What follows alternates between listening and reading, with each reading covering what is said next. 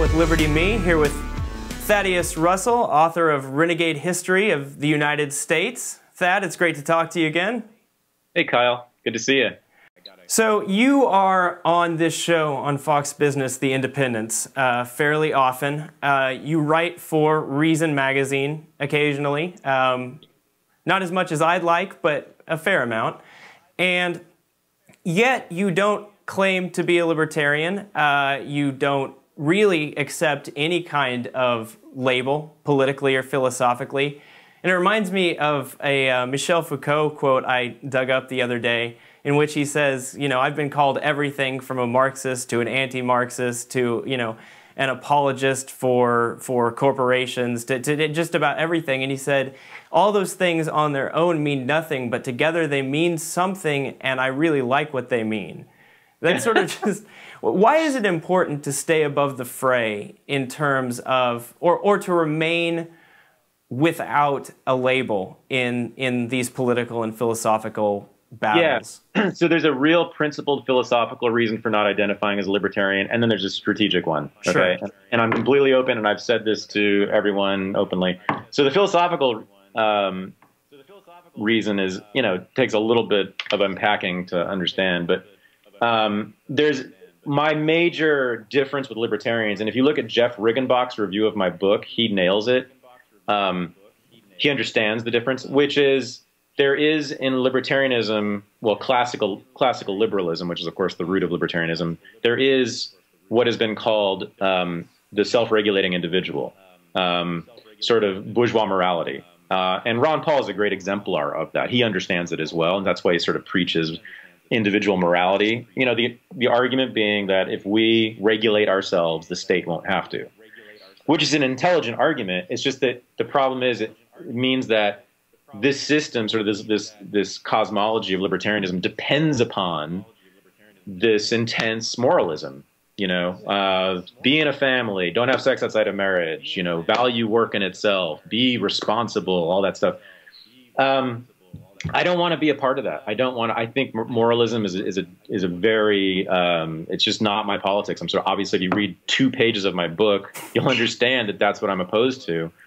Um, and I think that libertarianism should be truly the politics of self-interest. You know, and that's what I'm interested in. I'm I'm interested. I'm I'm trying to develop a politics of self-interest. Um, and so that means not moralizing against others unless they are doing harm to you right? Well, not, not even then. Don't sorry, take that back. if someone's doing harm to you, don't moralize against them. Simply don't stop them. Simply stop them. Sure, sure. Um, it, it, sounds to me like you're kind of um, meting out a postmodern view of morality. Yeah, for sure. Yeah, I mean, so.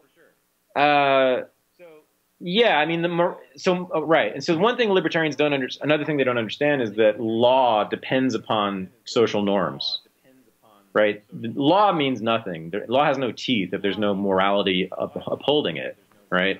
So the you know the the example I always use is jaywalking in New York. Jaywalking is illegal in New York City, but everyone does it because there's no moral norm right upholding that law, right? So it gets flouted all the time. Uh, sodomy laws, same thing, right? Sodomy is illegal still in several states. Do people practice sodomy in those states? Of course, every single day, uh, because there's no real powerful norm upholding them. So libertarians need to be as opposed to restrictive moral norms as they are uh, to restrictive law.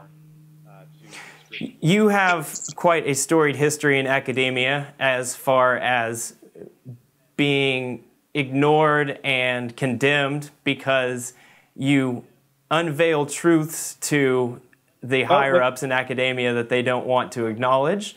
Kyle, hold on now. Oh, sorry. What's happening? You used a terrible word. What is it? Truth. Oh, yeah, that's true. Oh, no. Hey, man, we just talked about this. We're both postmodernists. We don't believe in truth. no, my, my, book contains no truth at all. it, it, it, doesn't. It's my argument. You can like it or not. That's all I ask. You know, sure, you like sure. Anyway, sorry. Continue. No, that's fair. That's a good break. Uh, so, why should libertarians adopt a postmodern view of morality? Well, for the reason I just stated, I mean that, that it's you know all the laws that libertarians hate depend upon morality. Do you uh, think there's also a strategic reason for it? Do you think it's a good backdoor into academia, which has accepted oh. uh, postmodernism as kind of the? Uh, yeah, right. So if you look, so if you look at, uh, you know, one of my major influences within academia is queer theory. Mm-hmm. And that was one of the first things I noticed when I started becoming interested in libertarians was that they look a lot like queer theorists, um, which is that is the greatest compliment, by the way. Which way? In which direction? Like who's being complimented? More, I mean, more libertarians. Oh yeah, yeah, I know, yeah, but no, absolutely. Um, the uh, you know, which is to the, the queer theory mission is to unsettle decenter, denaturalize, challenge all claims uh, of of essentialism, of things being rooted in nature, including morality, right? So is is work in itself godly and virtuous? Well, only according to some people that it's not written in nature anywhere that work is in itself is a good thing or that sex outside of marriage is a bad thing, right?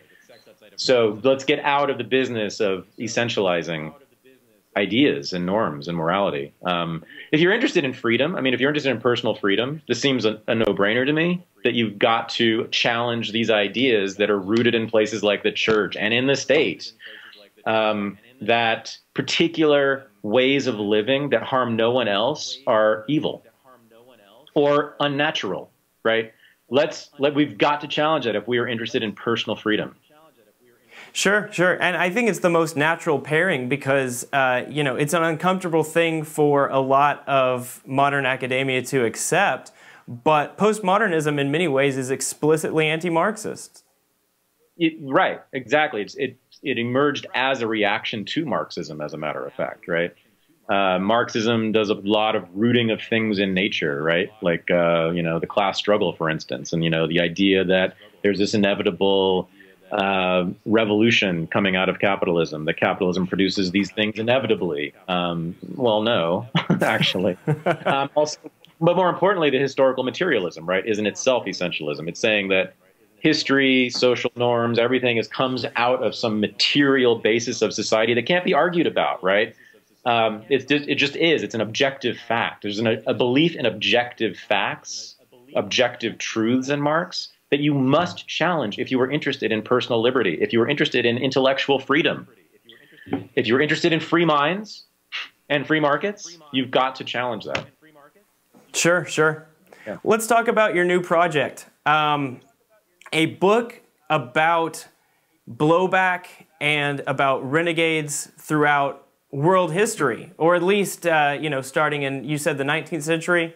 Yeah. Well, it's a history of it's called it's called Blood and Freedom, and the subtitle is um, a renegade a renegade history of America abroad. Okay. So it's, really it's intended to be a textbook, actually, an alternative textbook on uh, the history of American foreign relations. Um, so it uh, intertwines a few arguments. One is the blowback argument. It's just that I take the blowback argument farther back than Chalmers, Chalmers Johnson has, um, all the way back to the 19th century. So um, I'm looking at like right now I'm writing about the Philippines, Spanish American War, the occupation of the Philippines, the colonization of it, um, and you know which resulted in tremendous anti-Americanism in the Philippines, in particular among the Muslim population there. Um, and one of the things I found out was that the planning for 9/11 uh, actually began in Manila in the mid 1990s, and it was the planning, the sort of the group that was brought there, Al Qaeda, that was brought to the Philippines to make the planning for that, was sponsored by the descendants of the Moro Rebellion in the Philippines. Uh, so you know that's a long string of blowback there. Wow. Right? Yeah. So no one's no, no, one's ever made that connection before. Um, and then at the same time, what I do in the book is. Um, I argue that American popular culture, and when I've written about this in Renegade and elsewhere, American popular culture has served just the opposite purpose. That it has uh, that it has subverted authoritarian regimes abroad, and of course has caused people to desire and emulate and admire American culture, not the American government and not the American military, but American culture um, that it's that's been a, a, very it's been a liberating force. Uh, things like jazz and Hollywood and blue jeans. If you look at the history of the Soviet Union, I have a chapter in Renegade on this. The argument has been made, not just by me, but by many others, that those things are what brought down communism. That people wanted that stuff, right? it also it's disruptive of social order generally. States generally dislike the freedom and pleasure, the unbridled freedom and pleasure uh, represented in popular culture. They generally are quite hostile to it. Um, so it, it, serves as this sort of dissolving agent, you know, in governments, um, and that's what it's done in places like the Soviet Union, in the Philippines. Marcos, one of the first things that Marcos did, the dictator in the 1970s, was ban movies, Western movies, because he understood that. Um, so those are two arguments. Uh, and then the third argument I have in the book is that imperialism is the flip side of progressivism, or that it's really the spawn of progressivism.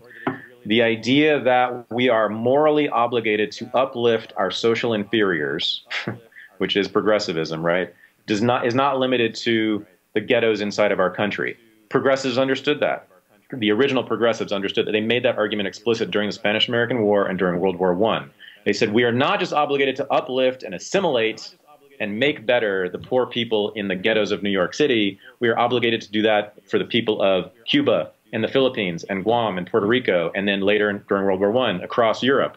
All the people who are under the thumb of oppressors must be saved by us and must be made to look like us, may, must be made to be like us. They must be forced at the point of a gun to adopt our culture, assimilated into the American way of life uh, remaking the world in our image. And that, so that I, my argument is that that that has been not the only reason, of course, that America has gone to war abroad, but it has always been at least that has always been at least a partial justification for the major wars of the United States. There's no such thing as a ma- there's no major war in the history of the United States that has not been at least partially justified by the humanitarian argument. And I think it's been genuine. I don't think it's just been a cover for economic uh, motives. Economic motives have certainly been there, but it, I think there's been a genuine humanitarian impulse, which, and I use humanitarian in quotes, uh, that's really been progressive and paternalistic and ultimately oppressive and has ultimately killed more people than it has saved.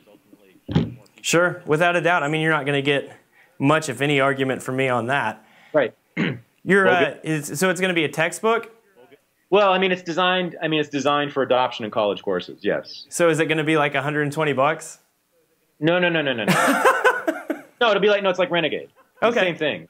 Yeah, it's just it's a regular book, just designed to be used for college courses. But well, it's designed to be read by anyone. But it's it could and should be used in college courses, right? If you're going to teach the history of American foreign policy, foreign relations, it would be a great book to use in your course. Absolutely, and everyone should. That's, and I'm glad that you yeah. found a way to tiptoe around the uh, the awful uh, monopoly on textbooks that that creates such expensive and and ridiculously. Uh, yeah, no, it's not being. No, it's not a. It's Grove Atlantic. They're an awesome mainstream but independent publisher, commercial publisher, but they're independent, and it's it'll be you know relatively cheap. Like Very nice. You know. Very nice. Yeah.